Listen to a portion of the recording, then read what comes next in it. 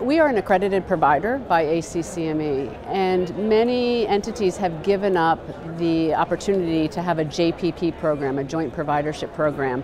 We've held on to that very closely because it allows us to work with members of the college who want to offer an educational activity.